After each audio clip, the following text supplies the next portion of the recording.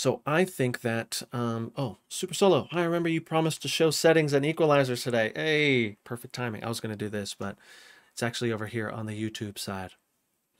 Um, yeah, I, I'm getting it, getting into it right now, actually. So the beginning, I think the reason why it sounds like this, in my opinion, like a big reason, is what's going on in my master chain. Now, if I can just like not have my flatline going and like still have my volume and stuff, I, I would love to do that. Maybe I can. Let's see. Let me turn all of this off. Oops.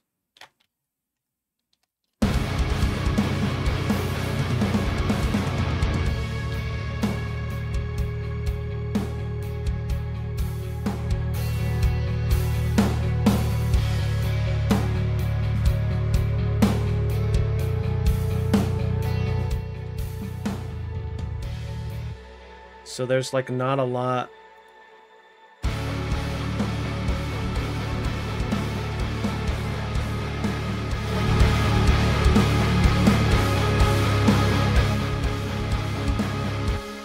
It's not bad.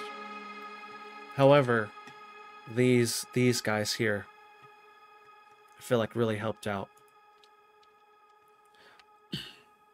And so the first thing that I have is of course this. There, there's a few, um, again, a lot of the same plugins that I use. So this is my main master bus here, my master out, I guess. So I have this guy here bumping 50 at like 2 dB. And then I have a high pass about 34. And then looks like at about 10K, 9.5K, I have a 2 2 dB bump. This guy. Little shelf. And so let's see if you might be able to hear this.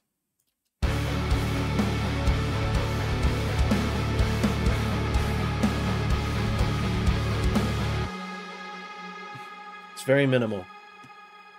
However, this plugin helps me a lot. This is the SSL comp. And this is the preset that I always use. Chris Lord-Alge, CLA Stereo Finalizer. This helps with my dynamics and keeps everything just there.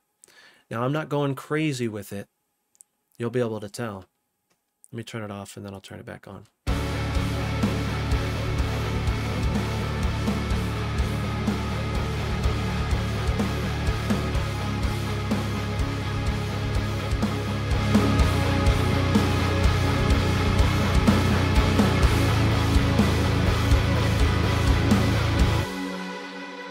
If you really listen, you're going to be able to tell that everything kind of just just smooths out. You know what I mean?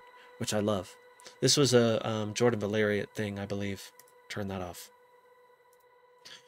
Next thing, so this one is a big, it's like a big chunk. And if you get my, um, my routing, this one in particular, this has those three plugins. Well, these two plugins already kind of in there. But this is like, you're going to be surprised how much this does. This was like my little secret sauce here that got me there a lot faster. So this, literally, this preset is called multi-band compression. And it's just in here. If you go to audio effects, multi-band dynamics, and it's in here. I know you can't see it, but it's literally just called multi-band compression. So again, this one's kind of crazy.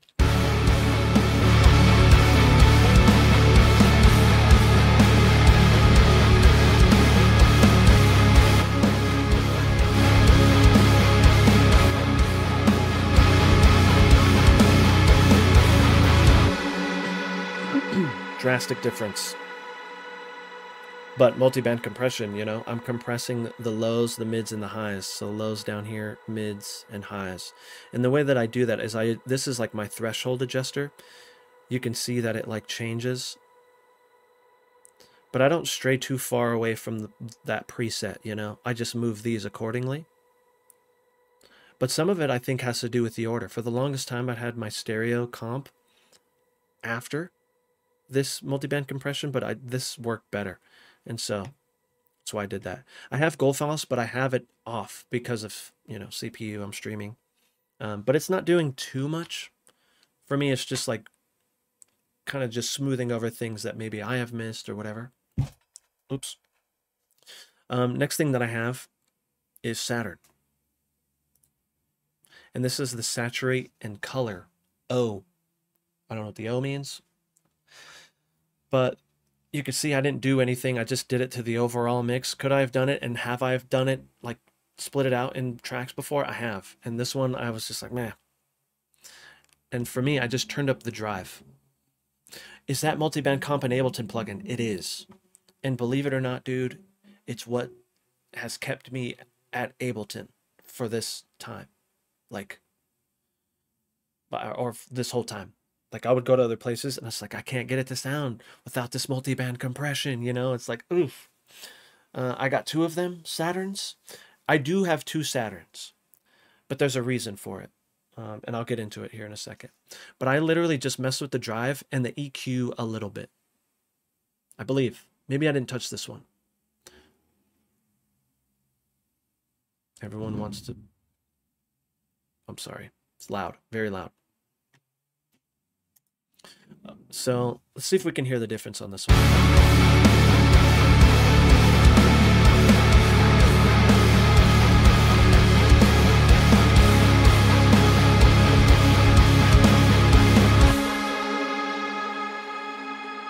It's very slight, dude. It's very slight. For me, it just warms up everything. You know, warms up the low end and stuff like that. So this Saturn in particular you can see that I have a little bit of a mid thing going on here. And what this is, it's actually for this part. You see that?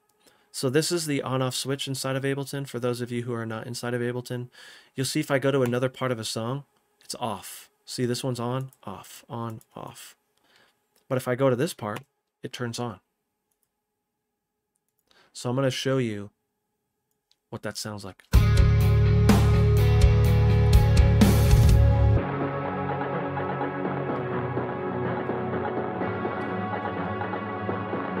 This is just my filter. Cool thing is like I can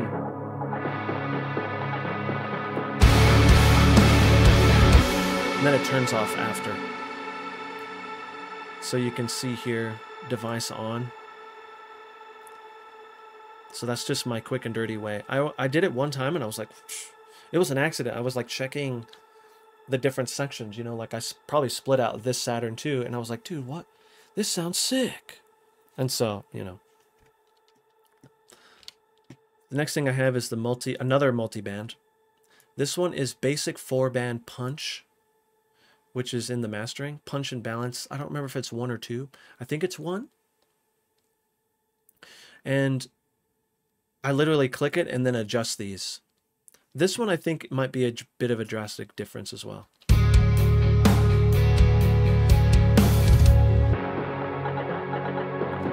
Let's go to the chorus.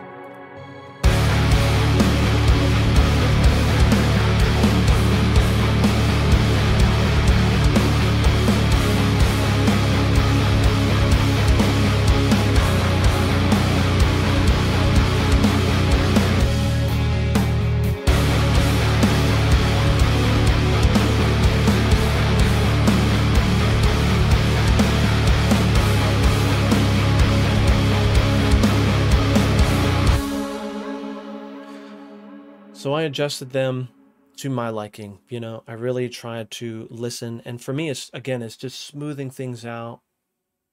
I like the way this sounds. That's why I always do this. I found myself, it's funny because like I'll make these streams reels, you know, like Instagram reels and stuff. And then I'll find myself like um, throwing this on inside of Adobe Premiere because I like the way it sounds. And so I was like, I'm just going to put it in there. Uh, next thing that I have is Soothe. This one is carefully filling compassion. Now, I was checking a whole bunch of them, and I just like this one a little bit more. But I did this bump today. I don't know what it sounds like mainly I heard this in my car and I was like, "Ooh, that's just too it's too harsh." And so that's why I put this in here, but Soothe is awesome. I'm going to turn on the delta so you can hear what Soothe is doing. So we're at 5-4.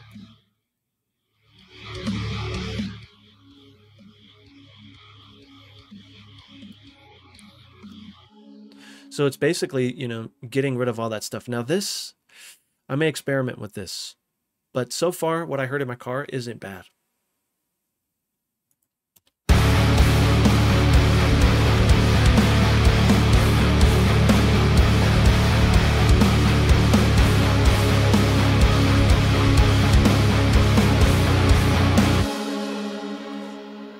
Not a ton, right? You can't hear it, which is good, but it's just getting rid of the annoying things about it, you know? It's like, oof. Um, next thing I have is Warmy. So I boosted a little bit of 30. So this is some Dan Braunstein stuff that I was kind of experimenting with. So I boosted just a tiny bit of 30.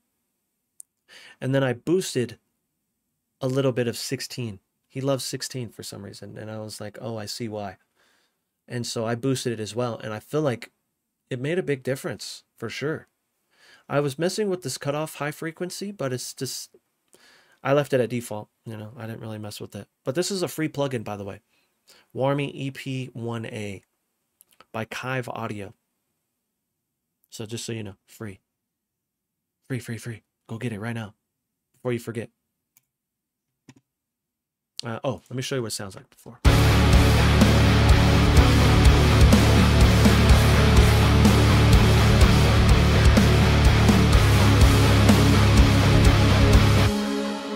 It gets that sheen. It gets that nice sheen. Uh, what sound system do you have, do you got in there? Are you talking about my monitors? So my monitors are Yamaha HS8s. But a lot of my heavy lifting is in these. These bad boys right here. They're, they're Bose Quiet Comfort 2s. But the reason why I use them is because I know them really well. I listen to everything. I live in these headphones. Like when I'm not on stream, I'm on my computer listening to other things in these. I'm at the gym listening in these. I actually use these at work because they um, cut out any sort of like, because they're noise canceling, but they have an aware mode. But if there's like a loud sound, then it like cuts it, you know? And I'm really sensitive with my ears. Like I don't want to lose the the sounds, like the frequencies that I can hear, you know? Uh, your car actually, oh, I don't know. Um, it came with my car. Uh, I actually drive a 2015 uh, Subaru BRZ. It's the Series Blue. And it has some tweeters, and I think it has a 10 inch sub. And it just sounds great, man and I'm like really um, particular about my EQ curve in there. I try not to mess with it too much, but you know, just comparing other songs and stuff, I try to match it and sounds good. But I didn't change. It came with the car, you know, or like maybe the previous owner did some stuff, but I didn't touch it, and I think it sounds good. Excuse me. Um, next thing is True Iron. This thing I just got 37 bucks.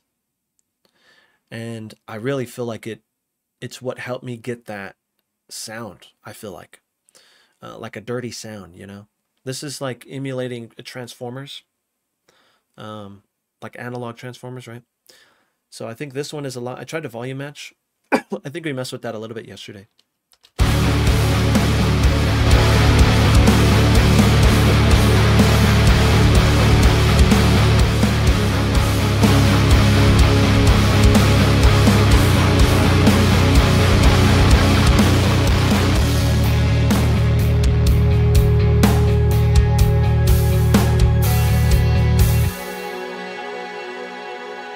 I think this is doing a lot of different things for me. But this is not going to leave my my mix bus or my master bus, mix master bus. It's not going to leave. I'm not going to touch it. because it just sounds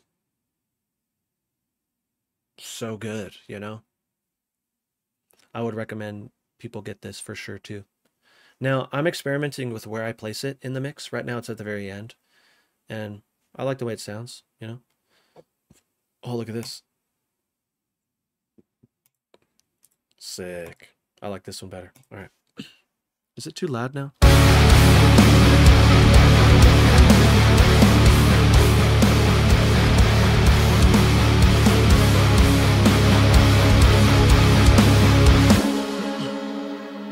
Okay, so that's my master. And again, like I was telling you guys yesterday, which I can probably resave this one. This can be my April master chain. and so now if I want to use this on other projects, rather than like saving a whole template with everything, I just grab this. Done. Okay, so the next thing is, um, let's go to drums. You, want, you ready for drums? And everyone is probably here for the drums. I know I'm here for the drums. So on my master or my drum bus, you can say I have multiple like groups within groups inside of here. But my drum bus, I use NLS bus. And it's not doing a ton, but you can see I have the drive all the way up. This is just a nice, again, analog emulation, right? So this is right in the beginning. Then I have Gullfoss, but it's off again because of computer resources and streaming. Then I have Flatline clipping some stuff. Now, how much is clipping? I'm not sure. It changes on me. Yeah. Right now it's not clipping anything. so I can get away with turning this off. Then I have the SSL bus um, compressor on the punch setting, and then I adjust accordingly. You could see where I'm at in terms of my levels.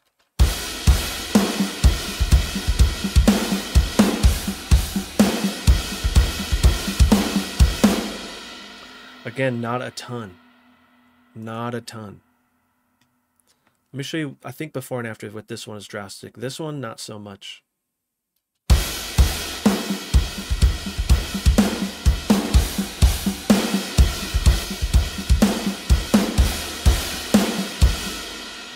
A little bit of a volume boost, but still, it again, it feels like it's just gluing everything together, which I like. For my kick, these are always changing. Not always, but, you know, changing in terms of just trying to experiment with, you know, trying to get a better kick sound. And you know, I always want a better kick and snare sound, right? I think that's something that everyone should strive for. Try different things to see if you can achieve the snare sound of your dreams, right? Um, this has this EQ curve. Let me turn them all off. This is my utility. This is just for like gain reduction at the end.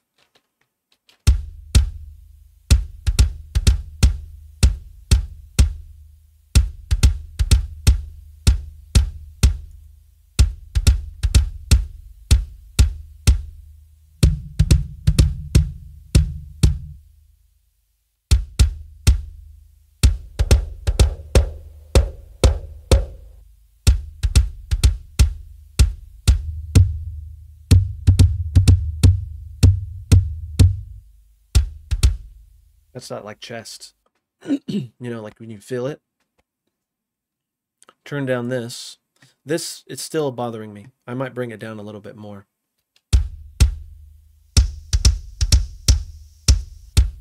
It's just, it hurts my ears. Like when I hear it, like on speakers and stuff. I'm actually going to bring it down a tiny bit. and I'm at the the 12 dB, not the 30. With the 30, it doesn't look as crazy but even there, it doesn't look too crazy. Negative 6, negative 3, nothing too drastic, right? Um, and then I have a transient shaper. This is, again, another experiment. Trying to get rid of that initial sound. It's just like, again, the loud, it's like, I don't know. it's honestly between like 2K and like maybe like 7 or 8K that is just like somewhere in there. This kick in particular it just has this and so I, I tried to again another experiment. this is also free. This transient shaper. Kilohearts transient shaper. They have a whole bundle that comes with this, so um, get it. It's awesome. Oh, let me show you before and after that.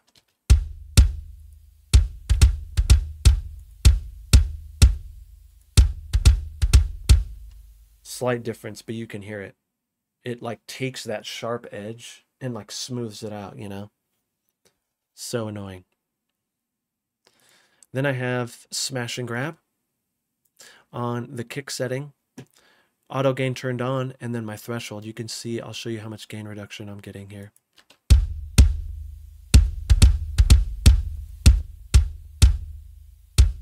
This is a lot of the sound here.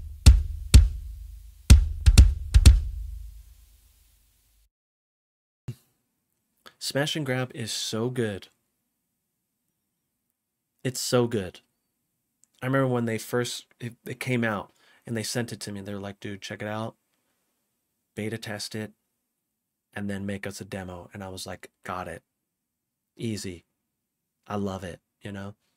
And I actually did a keyboard drum demo and so, I mean, it's what the thing I like about it, how easy it is to use. Output, threshold, beef, air, saturation, mix, drum type. Like they have a pro section too if you want to adjust these things, right? I don't, sometimes I'll go here, not much. But what's nice is it shows you, you know, what it's at, two to one, tape, seven KHGs, 60 HZs, right? So it shows you what you're adjusting. And so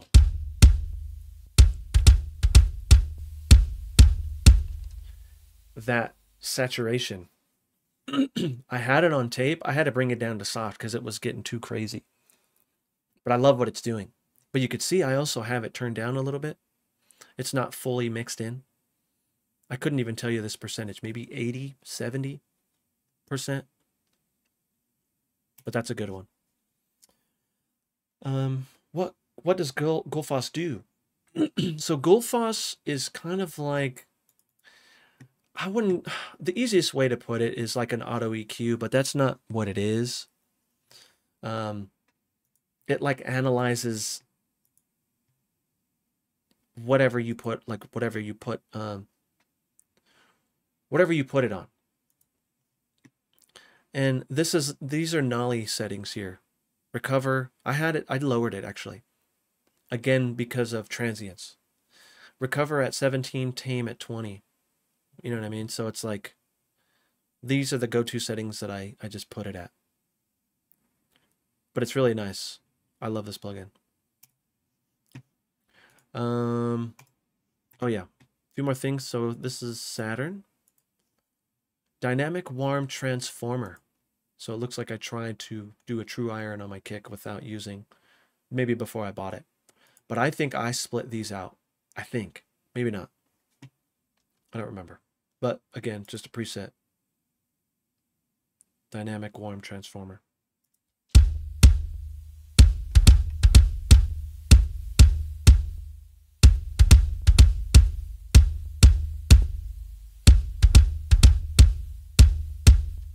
just more of that low end ooh, ooh, in your face, you know? So I love it.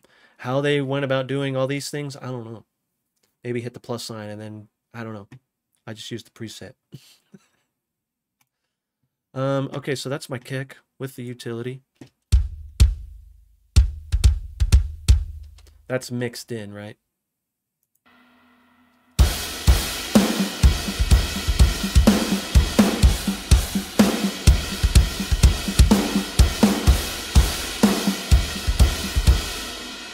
So a little duller, but duller on purpose.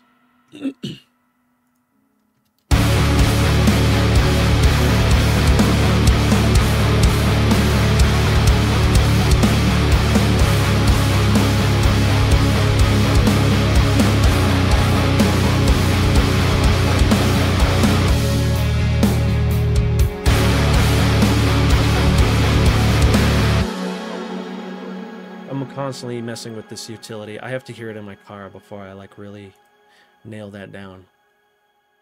Okay, so the one that you a lot of you have been waiting for. Um the snare. Oh, I'm sorry, Super Solo. Uh yeah, this is P5. Thank you for reminding me. It's going to take a second to load.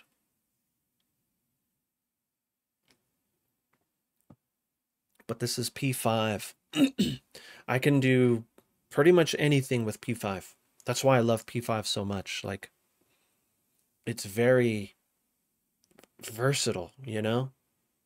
Very. All of my sound likes I've used P5, except for one. Maybe. No. No, I've I've used P5 for all of them.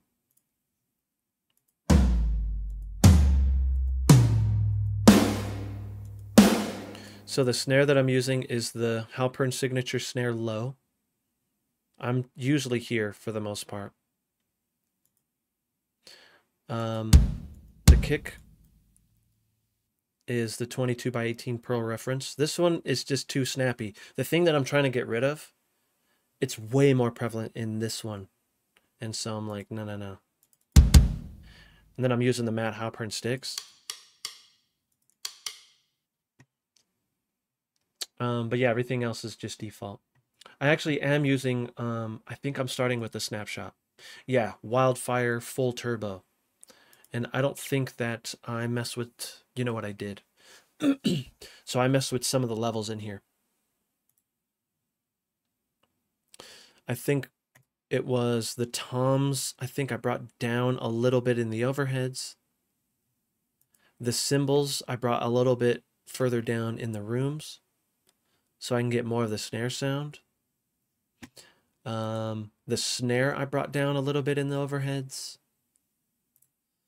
And then the kick I think I brought down a little bit in the overheads just to kind of shape, you know, to do the things that I want. But you can see I'm full turbo. I have some reverb stuff going and I have a drum reverb channel here that I, the reason, the way that I got that was I changed my output inside of here, output 13. So you can see I have everything labeled except for this out 13, which I just made the out 13 this. And so that's where my reverb is going and stuff. And so if you have stuff going in your kick, like if you have reverb, reverb in your kick, chances are your output is probably on the same channel your kick is on. So just so you know. Um, snare, right. So this one I'm always, always messing with, man. I've, I'm always trying to experiment to get the sound that I want. But it changes, right? It changes depending on the type of music and this and that, you know. But uh, there's not a ton going on, as you can see. So here is my EQ curve. uh, not a lot. Let me show you what it sounds like before.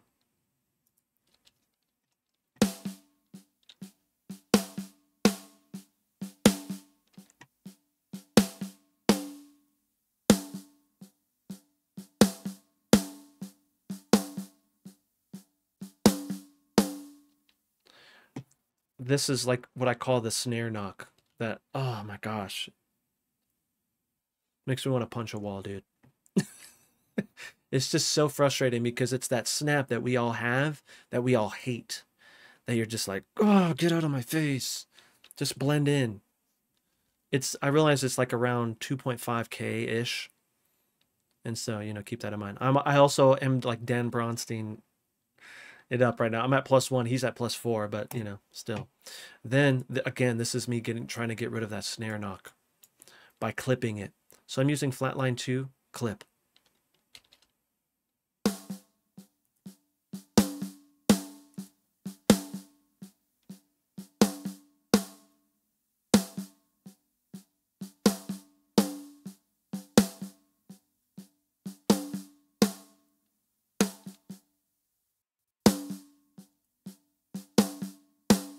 I'm just straight chopping that transient, dude. That, do you see that? Get out of here.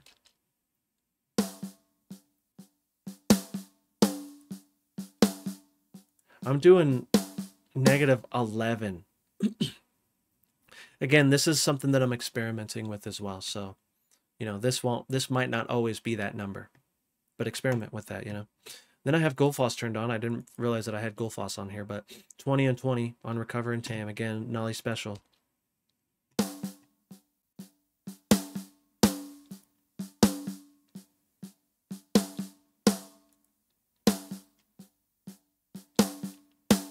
Not a crazy huge difference, but I do hear some difference in the high end, which maybe this might actually be hurting me. I don't know, see. Then I have smooth on it, or soothe on it. You can see I got, look, it's like this. I realize maybe it's this area, but it could be this area. But I have soothe. This is snare detox.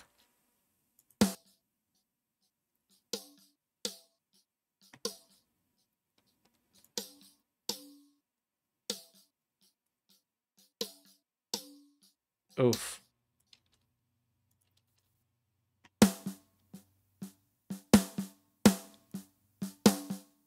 There's that sound.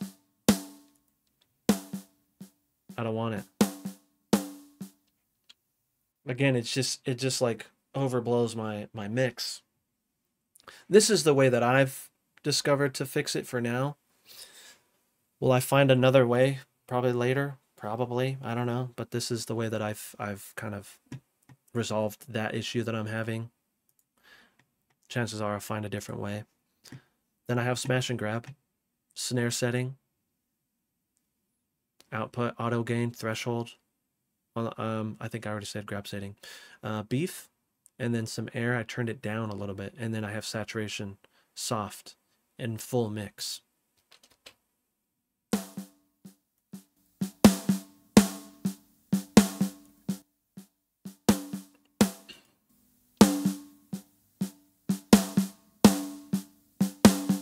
So it's about negative five. But you hear all that noise. I don't really care. I don't really care about it. I'm not too worried about it.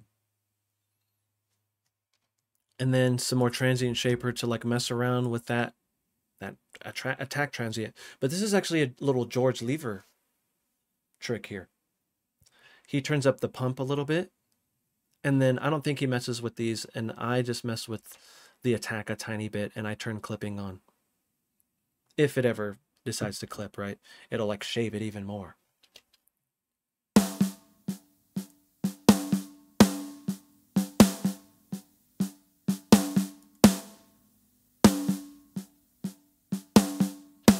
Just gives that pushed sound, right? That pump sound, I think it's more of a pushed sound. So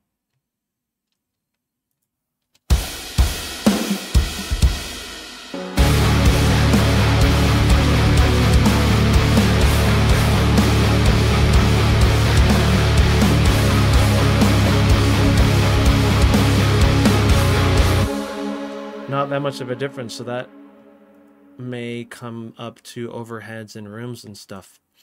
But I think there was one thing that I've been experimenting with too is where this is living, right? Like I'll go up one, down one, and I'm just using my up and arrow, uh, up and down arrow to go up and down one dB. That's what's nice about doing it this way. If you want to make a quick change, you just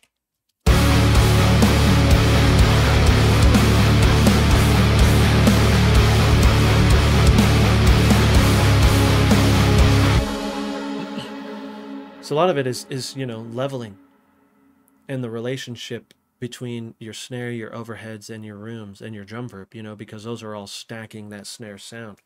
And that your snare sound is a culmination of all of those things. And so you have to think about it in that way. You know, if you have a lot of, let's say, 2K, 2K, 2K, 2K, you know what I mean? So it's just like, so you have to find which 2K is giving you the most trouble move that one first and then see, you know, I try my best to always mix in context of the whole mix. That's such an important thing. You're going to make the drums sound good by themselves and you're going to be like, dude, this sucks. Once you get everything in. Because you're you're you're catering the drums to itself, not catering the drums to the mix. So keep that in mind too. That's why I do top-down mixing. Um Okay, so that's the snare. Not too exciting. I'm sorry it wasn't as crazy as you thought. I didn't do anything crazy.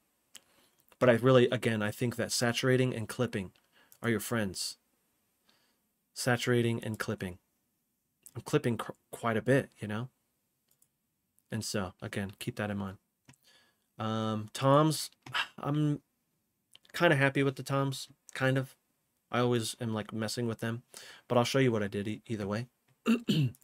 toms, less sustain. I realize these toms have a lot of sustain. They just go on forever. I was gating them, but I feel like the transient shaper with like just lowering the sustain gives it a little bit more of a natural sound and not like a gated sound.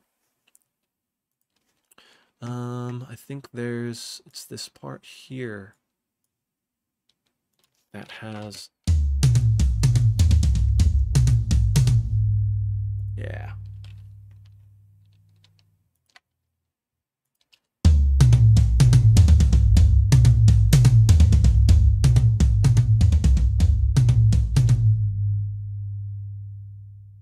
You hear how long it goes?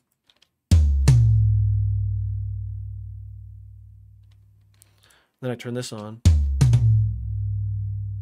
It's a little less. It just kind of goes away. Like it, the volume goes down a lot faster. So here's my EQ curve. Fairly typical EQ curve for toms. Uh, this, maybe not so much, but this, again, me experimenting.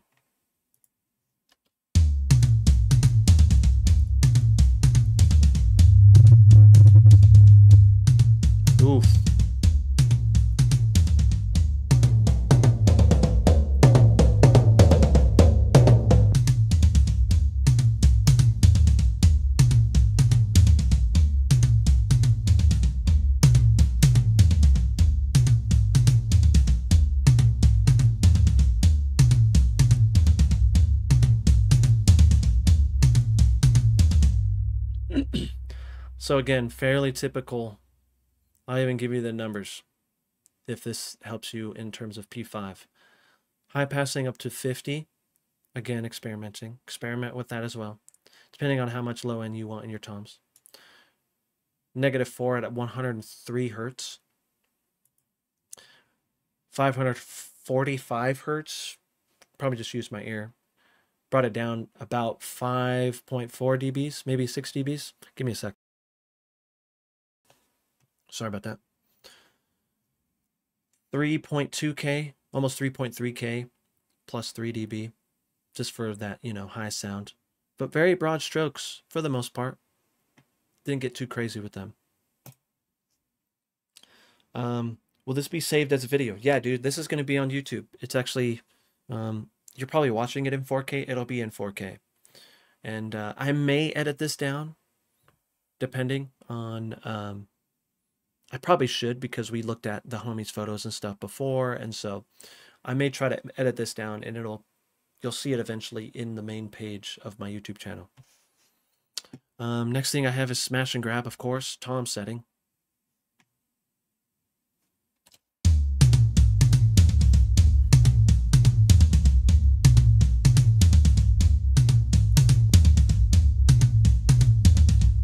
So I'm mainly using this as like a compressor, you know. You can see my moves aren't too drastic and my gain reduction's about three to five, I think it was at. Three. Oh, three to five. So just catching those overtones and stuff. And then some saturation you can see. I love saturation and I realize how important it is. Over time, you know, as I, in my mixing journey, you know, I've been doing this since like, I've been mixing music since man. I would say like legitimately well legitimately right since like 2015 2014 but like you know i've been writing and trying to mix myself since like 2005 and so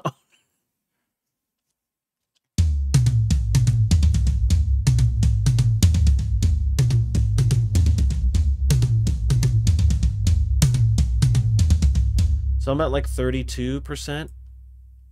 You know? Yo, Josh, of course, man. Thanks for stopping by, dude. And um, yeah, the video will be up for you. For sure, for sure. Makes sense now. Yes, please. So the last the last thing that I do that is kind of I typically do this for like vocals and stuff. But I wanted to experiment to see if I could do this with um, toms, and I started doing it a little bit ago. And I watched Dan Lever, or George Lever, and Dan Braunstein, and they both do something similar to this.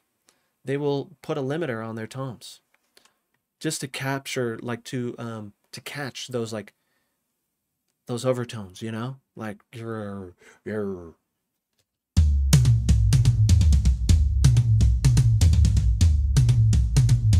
Just so they don't get out of hand. That's what it is. You're literally just like putting him in the cage and you're like, you can't go past this cage. Do whatever you want, but you're not going past this, you know? Now, for me, it was like experimenting with how much I want, wanted this to affect it. For me, it's like I want to affect it right before you could start to hear that it's affecting it, right? So, yes, I agree. I just watched those, man. So when I had to work, rather than just like not doing anything like playing video games or like just watching TV, I got the nail the mix George Lever and Dan Braunstein and I just watched them because I wanted to, you know, learn some stuff for myself and for the homies, you know, to kind of like get some stuff going. Um, and it's just be able to explain it, right? Nolly uses a lot of your mixing techniques. Yeah, so you know, it's funny is I mean, I, I'm I'm a product of my environment, right? I love Nolly stuff as well. Um, I look up to all those guys, and so another guy that I look up to that I feel like he's he gets some credit, but I don't think he gets enough credit is Adam Bentley. Adam Bentley is such an amazing dude, just all around.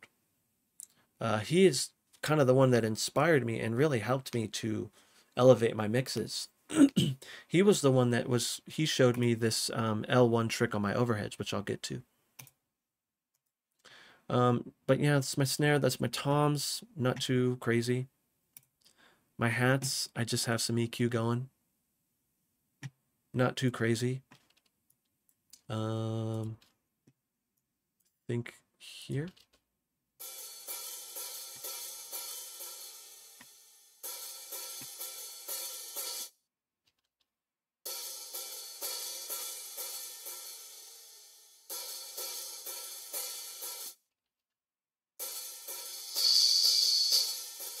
Get out of here, dude. For me, I'm trying to find things that hurt my ears and get rid of it. It's like, oh, that hurts my ears, dude. And it's usually around here that where it starts to hurt my ears. Overheads. I think this is an important a lot of a lot happens in your overheads that, you know, you should try your best to keep. I've experimented with this over time because Jordan Valeriote he uses it mainly for cymbals. Dan Braunstein's like, I don't high pass nothing. Just let it fly. And I was like, okay. George Lever, I think he's the same. I started doing that a little bit before I, I watched those, just again to experiment. And I like the way, I like what it did to my mix. It filled it in, you know, which was nice. Um, for me, it's taming those cymbals, bro.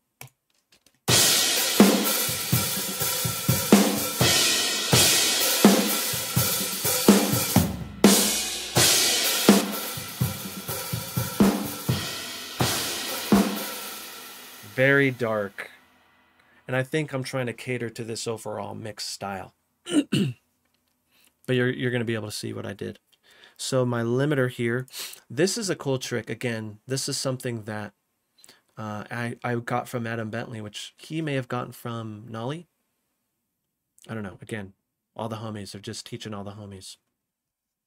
But this is nice because it really um, it tames the, your snare peaking and hitting compressors because the cool thing about this trick is it's not really affecting your snare too much, but it is getting rid of those like transients in the attack that's hitting your compressors too hard. So this is a nice one. Default setting, literally, I didn't mess with this. This is default.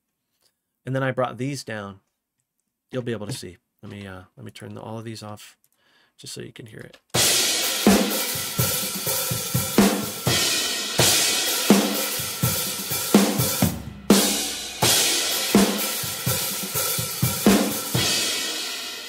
So it's doing a lot and you can hear it, but I'm not too worried about it. I've I've always done this like since I found out in like 2015 I think it was. And then this is me taming cymbals.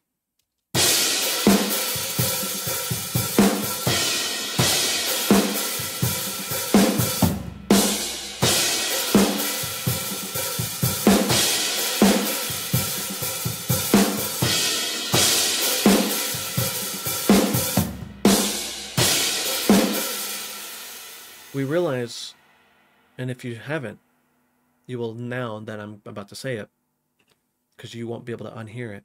Cymbals aren't as loud as you think they are. Like, it's crazy. Go listen to a Zakk Cervini mix. You know, it's crazy. But so I, I'm using this. I'm using this as like it's very slow. My release is very slow. You can see when it gets and like when it kicks in, it takes a while to get back. For those of you who don't know, the attack is how soon your compressor kicks in. The release is how slow it comes back after it got kicked in, right? So if you have a fast release, let's say you have fast fast attack, fast release, it's going to be really fast. Fast attack, slow release, right? So you got to think about it that way. little quick quick tut. But I have a fast attack, slow release. So you'll see it's kind of just juggling there.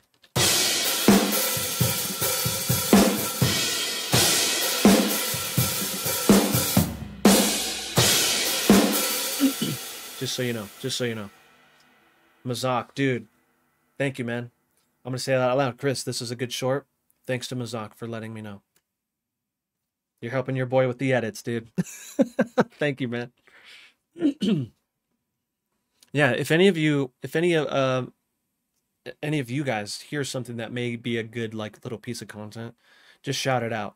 I use like a text-based editing inside of Premiere, and so I can just like control find what I said. Like this is a good short, Chris, and so that that actually helps out. So appreciate you guys. Appreciate you, Mazak. Is there a cheap alternative? Um, there is. I just forget what it's called, man. But one thing that I do try to do and I've experimented with is using a multi-band compression and just messing with the high setting here and then messing with my attack and release here. So this is like above negative, uh, 36 dB, you know, and so it's like just messing with these settings and then bringing this down to kind of like do that same sort of thing. And you can solo it so you can hear, you know, what it sounds like. Sorry if that hurts your ears. But yeah, I would experiment with that. And then like any sort of multi-band compressor that's inside of your DAW, whatever DAW you use, try to do that. What I aim for is pretty long look ahead or like, you know, I'm at six milliseconds. And then um, slow attack or I mean fast attack, slow release and then, you know, adjusting your threshold.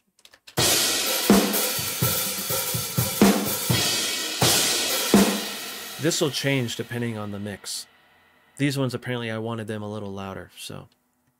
But I do other things. So I have, here's my EQ for this. Look at this.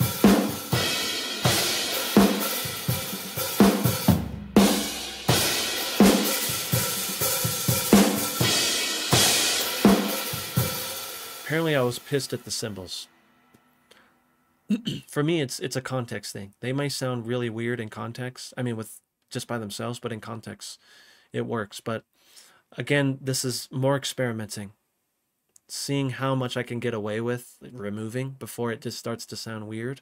But I'm I feel like I'm making up with um, making up for it with this 16k bump in the free Warmy EP1A, this 16K boost. Like all the things that I'm getting rid of, I'm boosting the things that I actually like. And so that's why that's there. Looks like I did another one. Getting rid of more resonances and stuff like that. I'm not afraid to use multiple EQs just because you get a fresh slate and you get to see uh, the analyzer, right? I'm an analyzer guy. I'm not afraid to admit it. Um, but the cool thing about Pro Q3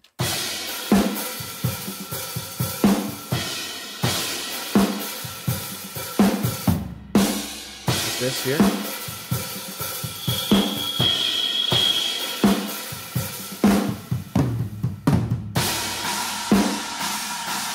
That's what's nice. Stuff like that. If you hover over that spectrum, it'll show you the things that are like peeking out the most. Then you can check and see what it is. And if you don't like it, you could bring it down a little bit.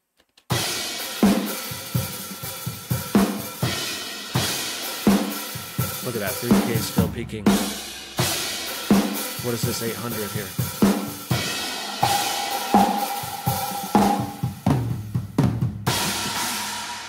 One thing that I should mention, it's easy to get carried away with this. So be careful. Do it, but be very careful.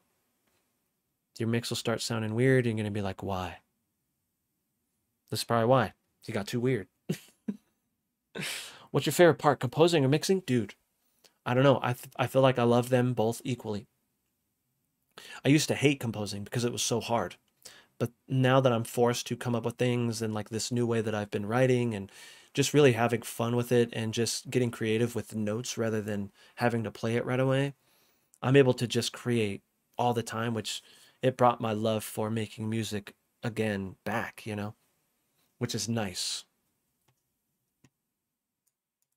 Um, Soothe. Actually, I'm using the Nolly preset, Cymbal Smooth, but I, I I changed my curve. You can see I'm really trying to tame those cymbals, man. Oh, let me turn it on.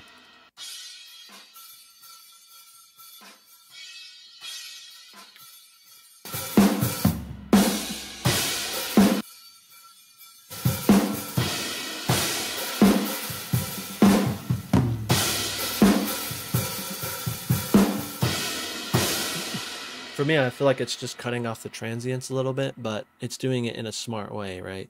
Like in this general area, just get rid of the sharpness and selectivity, high selectivity. So you're just like, you know, I think it's a lot tighter in terms of what it's selecting rather than if you have your selectivity down, I believe it's more broader strokes.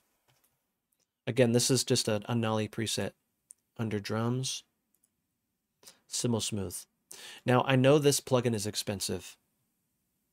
However, if you want something that is going to drastically change and really help out your mix, Soothe. It's insane. Such a, a, a great purchase, man. Everyone that I know and watch uses it because it's just, it's revolutionary for sure. Everyone uses it now. Everyone when even when I was using watching Control Hub demos, this was after Control Hub. So, you know, keep that in mind. This is something that I think everyone should have. And again, I know it's expensive, but so good. So good. And then Phantom Center. This is experimenting again. Trying to get some center out so I can leave room for my actual snare.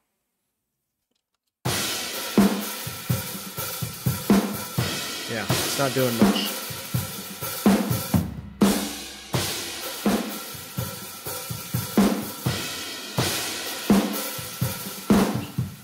Experimenting with this center. So this, again, for those of you who don't know, Phantom Center literally takes your information because you have left, right, and center. Even if you have things panned like your guitars, you still have center information.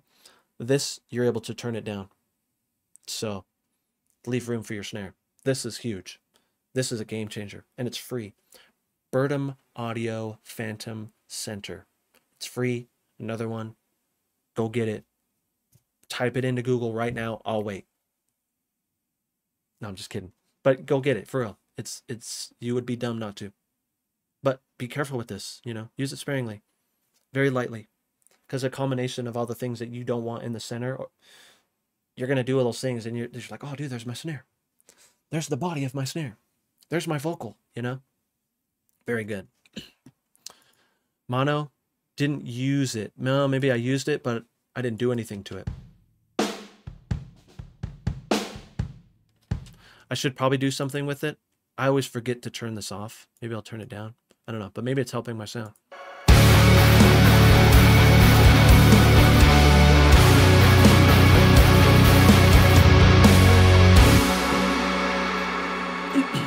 I'll leave it at zero. I won't mess with it. I can like smash it, but I feel like I'm already getting a good result, so I'm not going to mess with it too much. Okay, rooms. So I process rooms together. However, my volumes are different because room 2 on P5 is a lot more uh, on the high end side, like more transients and stuff.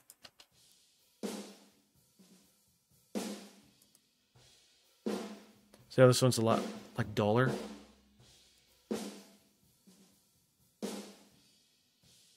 So keep that in mind. I always keep this one a little bit lower if I'm trying to get that dull sound, you know. So with my rooms, again, more experimenting. L1, kind of like that overhead trick. Which you could tell that it's not doing it anything anymore. Which I wonder if I put these on here instead. Let's see. Yeah, which I'm not too worried. It actually sounds it sounds okay. Not too worried about it. then I have my EQ8. I use an EQ8 for my rooms.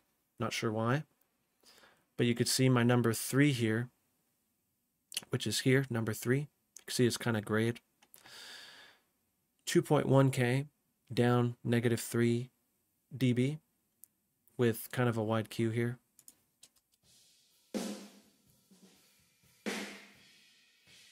Snare knock. The snare knock. That's what I'm I'm getting rid of.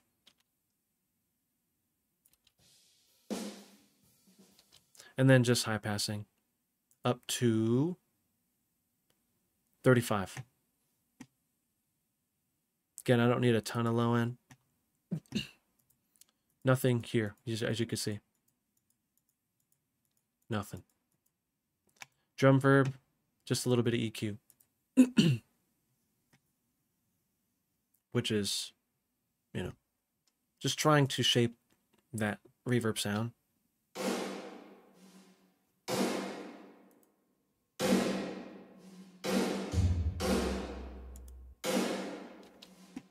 It's very nice. okay, so I know that we're going, we're pretty high on time right now, an hour and 26. I don't know if uh, I may fly through this, but this is not much different than what I've been doing in terms of um, bass and guitar. So for my bass, I'm using Nolly Bass on the DI setting. And it looks like I'm using ascending fret logic. I'm not sure why. I didn't do that intentionally. Muting noise, muting noise I have up. Humanize, I think I have up this is usually down. Um, sub, I have a little bit of it up. Then I have a D-Fix, which is like a virtual preamp, which I always forget to turn that on. Again, this is the presets that I bring in that I forgot to change. But it's like a virtual preamp, like plugging your bass into a preamp before you go into your interface. Parallax on the mic'd up setting. I don't think I mess with this too much. I might have but keep note of, you know, where this stuff is. Uh, sorry.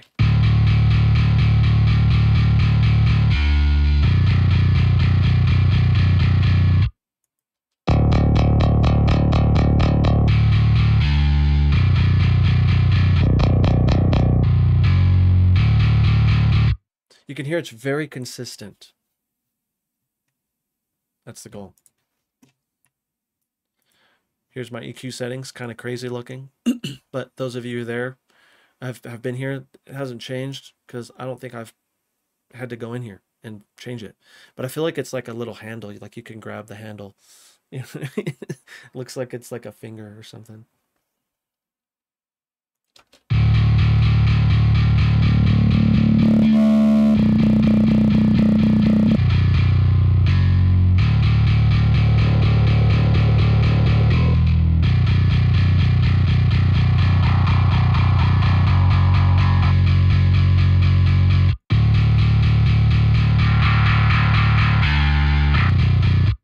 Sometimes this will stay up higher, but depending on the style of music and stuff.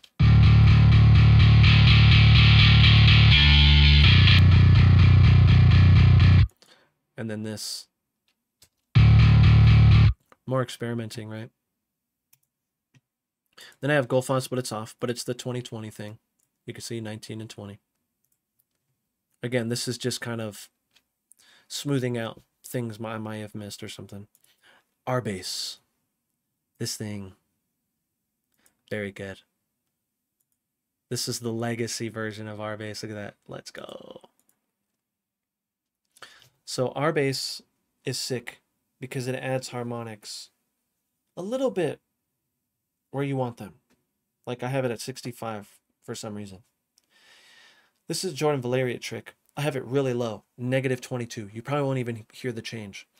But well, the thing I like about this is in your small Bluetooth speakers. That's where this helps. So that's why I have this on there. I mean, I could try to show you what it sounds like before and after.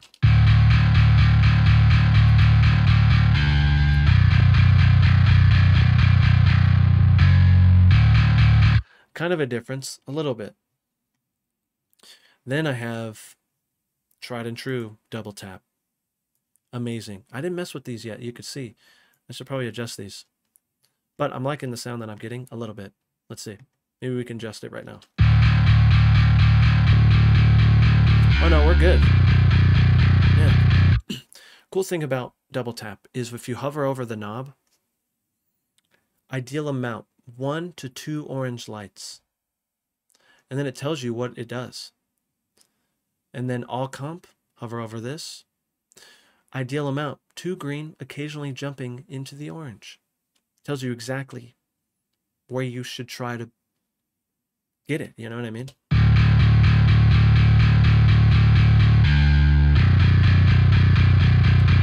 fairly close. I have it on the grunt setting. Grunt is nice. Grunt, our favorite bass saturation algorithm, tweaked and refined to perfection, adds aggressive parallel saturation to give the bass more presence in the mix. And I agree, it helps a ton.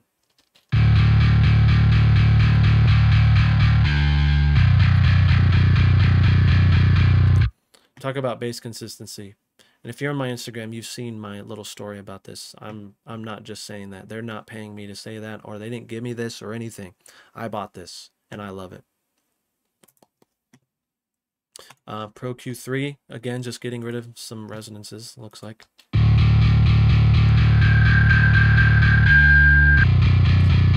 And then experimenting, adding a little bit of 42 in my sub low range just to see what happens because if I bring this up and if you have some uh, good enough earbuds or speakers,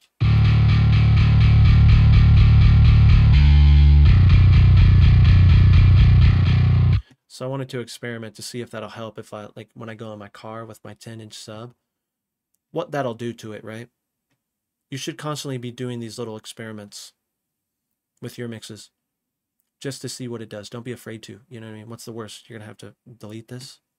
You know what I mean? Like it's gone. So try things. Rhythm guitar. I am using Odin 2. Panned rhythms expanded. Swift mode turned off. DI fix again. My little um, preamp. This helps a ton. Gojira X. I'm using the JD Rhythm 2 preset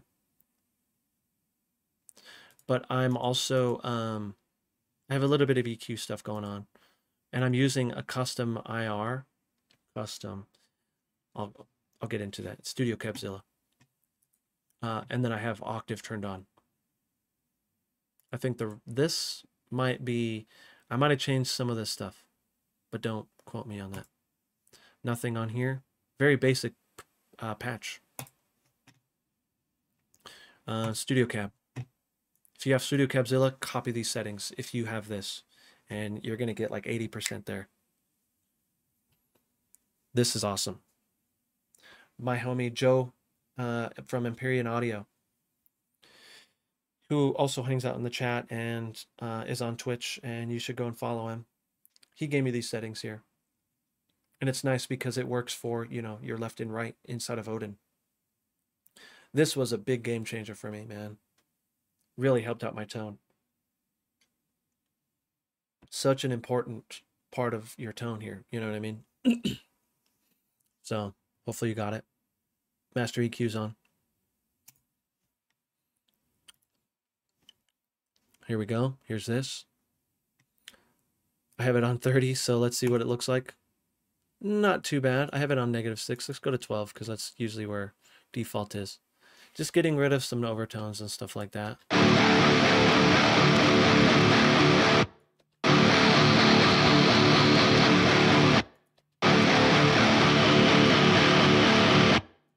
That's 3K. This is 4K.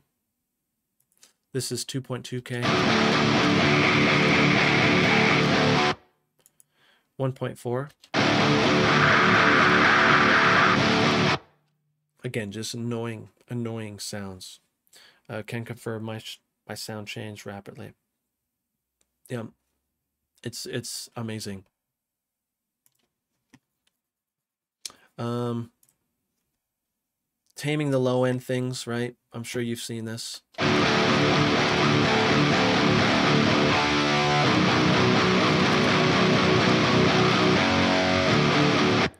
Things that can affect my consistency of my bass and stuff.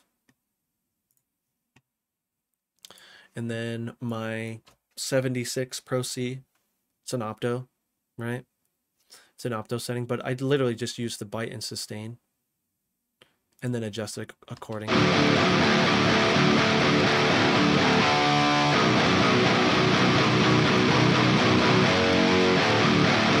It's not doing a lot. But if anything gets crazy, you know, it's there to catch it. Gullfoss 2020, 17 and 10. So, again, keep that in mind. Soothe. This actually helped a lot too. And I mess around with this setting. This is this one's guitar D-spike. Sometimes I will use digitized software amp or de-digitized software amp. That actually helps a ton too. I may mess with this, but I'll show you what it's doing.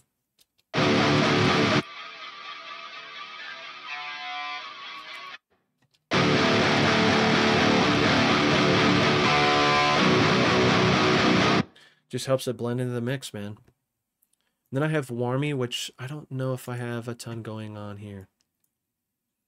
I boosted 100 for some reason. And then I boosted 16, which I already am boosting here, so I don't know if that's hurting me or helping me, but I haven't noticed it, so I'm going to leave it. And then I have wider at 3%. I actually should put a, a center on here. I didn't put a center. I'm going to do that. Um, this is free as well. I only have it at 3%, but this is nice because it does exactly what the plugin says. It's great. It's really great. Um, you won't be able to really hear a difference with that, but let me put a center on here really fast. All Phantom Center. I put it after. Probably bring it down. So that, that's going to help with my snare even more. Again, you're not going to really be able to hear this too much.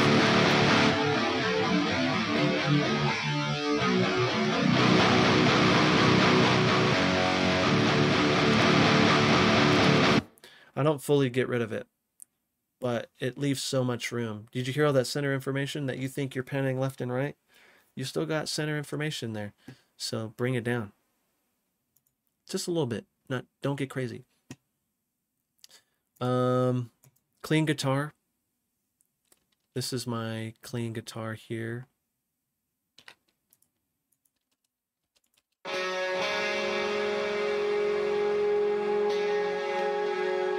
Super compressed.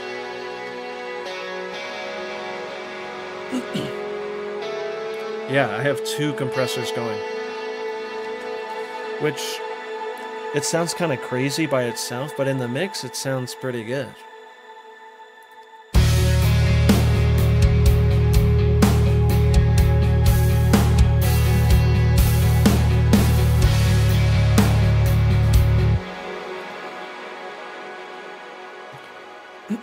So this is Hydra. Shreddage 3 Hydra. But this is the homie uh, Akita, who is in the chat sometimes. This is his preset that he made. He went through this thing like with a fine-tuned comb and like made this preset. And if you want this preset, it's actually in the Discord. And uh, for the homies on YouTube, Discord is in the description. For the homies on Twitch, I believe it's that might work. Hopefully, I'm hoping. Let me know if it doesn't. But this is nice because it's the left and right. I love the cleans from Shreddage 3. I feel like Odin 2 just doesn't have the cleans like Shreddage does. But with Akita's preset, the strumming and stuff that it does, oh, so good. So good. DI fix, of course. Again, to just kind of help get rid of that sound of, of fake guitar. Storyteller. I'm using the Storyteller preset. And then I think I tweaked it a little bit. A little bit of chorus. Nothing here. Here's my settings here. Bright is turned on. Using the same cab, just default cab. And then here's my settings here. And then delay and some shimmer reverb, which is really helping the ambience here.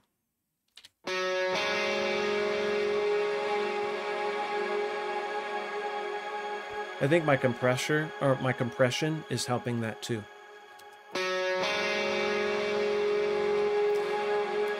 I have glue compressor going.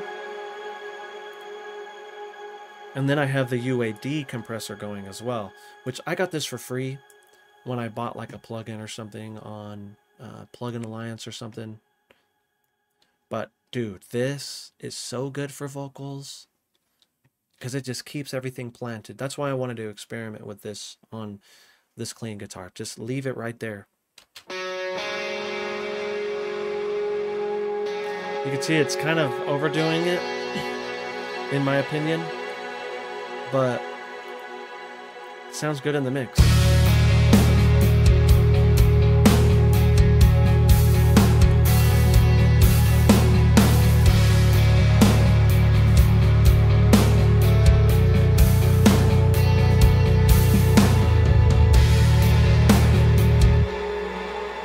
That's my clean guitar. Here's my lead. I think a lot of people want this one.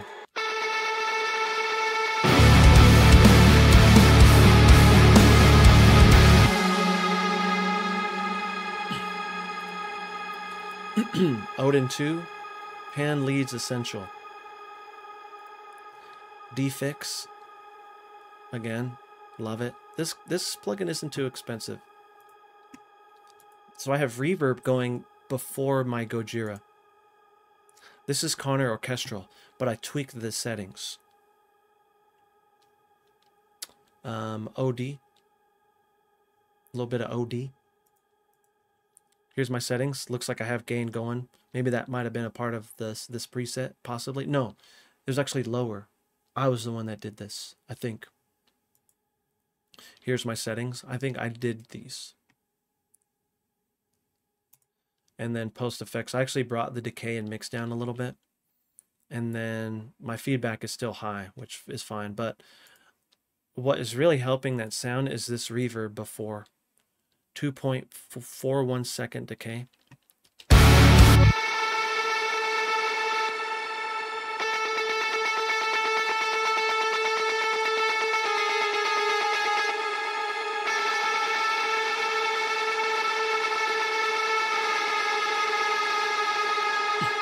Just really blurry. That's what I want, you know? I don't want it to stick out.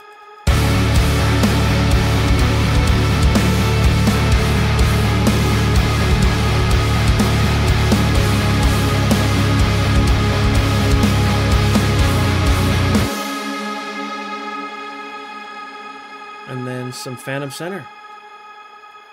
Reverb is a default Ableton. Yes, this is a default reverb here. Love this. I love this reverb. It's so like you get what you get, you know, turn up the decay, make it stereo if you want, add a chorus, you know. I did all the things on this because I wanted it to just be kind of, you know. Again, this is experimenting, trying to get more center information out of the center that I don't want a lot of in the center, right? Um,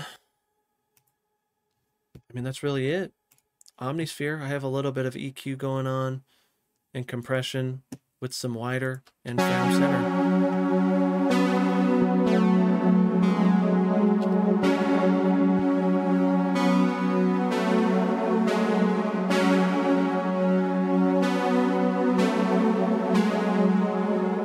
Some wider. This one I have kind of high. Ooh, that's a big change.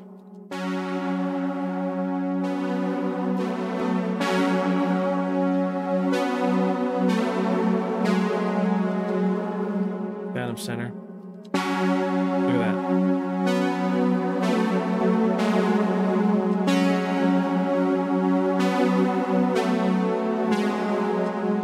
Again, you can hear it. It was right there, and I just brought it down. Spire. This is this sound.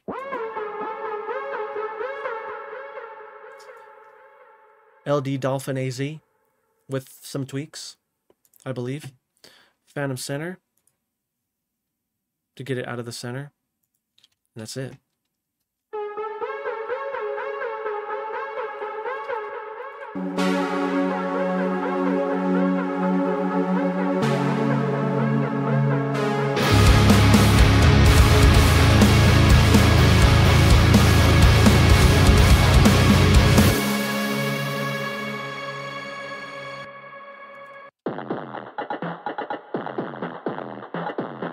I did this whole thing on stream. And so you can watch exactly how I went about doing it. And I think I made, I have an Instagram reel coming out. Maybe I put it out already. If not, it's coming out of this whole process. If you want to see like the quick version, it'll be on my Instagram uh, very soon. RC20 on the retro game, or yeah, retro game stereo. Messed around with this. I mean, you can see this was just a lot of tweaking. And again, I did this on stream so you can see all the things that I messed with. Some EQ just to get that sound, right?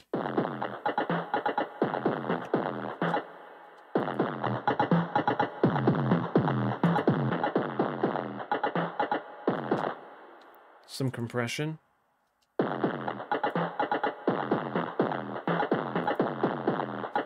Just to tame some things. It's not doing a ton, you can see.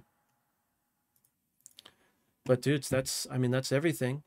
I think some key things is your volume levels, man. I know mine look kind of crazy, but I think it's because my master was a preset. But all this being said, like don't even look at these. You don't have to look at these. Just use your ears and really try to pay attention. Like go and listen to reference mixes. I'm going to do this. Go and listen to reference mixes and really just listen like where's their kick at in relation to everything else? Where's their their snare at in relation to everything else? Like try to take a mental mental note. What i'll do is i'll have spotify right next to ableton and i'll just a b like a madman. Oh okay their compression is like doing this to the kick which is causing it to kind of do this and then oh the snare is really dull it's duller than i thought. Like oh the cymbals are like you know not as as loud as i thought too you know? And so a lot of these things are just like critical listening. I think that's what makes a good mixer, you know. You're able to critically listen to these other things and really start to hear what things are there, what things aren't there, you know. And it's like, oh, this sounds this way, but it sounds this way on my mix. Why? Oh, okay, maybe he's like shaving off transients or whatever, you know. So I think that's the biggest thing. Like you can probably do the same exact things that I'm doing, and if your levels aren't right, it might not sound the same. And so that's just kind of goes to show you the levels, uh, how important the levels are. You know, like levels are are really they're so important. That's why they say you know gain stage before you get started. And so keep that in mind. Where's the kick in this mix? How loud is it? How loud is the snare in this mix? I love the snare. When I have a good snare, I want it to be loud, but is it really that loud in this minute this mix that I'm trying to make mine sound like, right? Cymbals. How loud or quiet are the cymbals? You know, all these things just to keep in mind um, because I feel like it goes overlooked. Some people in the community jams, I'm like, oh yeah, your drums are kind of low or your drums are kind of quiet. But they're a guitarist, you know, so they want to hear their guitar. And so they bring up their guitars really loud, and you're like, oh, why does my mix sound small? Your guitars might be a little too loud. Try to bring them down, and you're going to start to hear everything else try to breathe. Because by turning all these guitars up, you're you're suffocating these other elements, right? And so it's all about balance. But um, yeah, dudes, we're running seriously over time. Uh, we're going to be doing community jams over um, the community over on Twitch. So if you're over on YouTube, come and hang out with us for um, a little bit longer. And we're going to check out what the homies do- have done. And then, um, yeah, if you guys like this video, please like and subscribe and all those cool things. Um, it really helps me out, believe it or not. Um, if you want to check out my Patreon, just show you that really fast. I kind of showed you a little bit earlier, but it has some cool things in here. Uh, some fills that I use, actually used in this song. Groove packs, this is not going to be the only one that I ever make. And so, you know, there's other cool things in here. I do sounds like every once in a while. And so there's some multi-tracks and stuff like that. There's going to be more. I just haven't had time to really dive in and get these other sounds like in there. And so, you know, that'll be coming very soon, but I'm constantly, constantly adding things, you know, because I want to add value to you guys because you guys are supporting me and it means a ton. So, you know, serum patches, but yeah, dudes, I'll be over on Twitch. Um, and so we'll see you guys over there. Appreciate you so